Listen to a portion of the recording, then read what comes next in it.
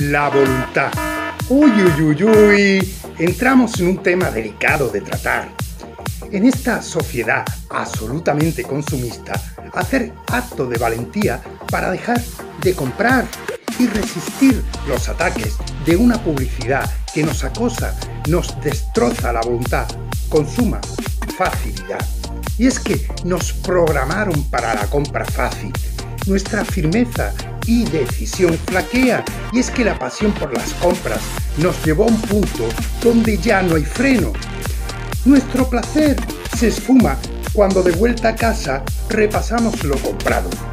Unas mallas de leopardo, un cepillo de barrer fabricado con bigotes de gato, unas bragas con glúteos falsos, una batidora que habla, unas zapatillas que vuelan.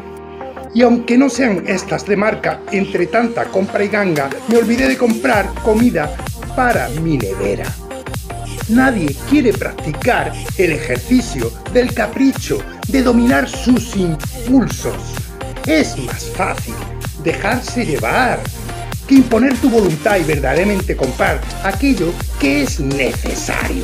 Reforzar tu voluntad y tu sentido común es fácil si aprendes a dominar tu mente y tus prioridades.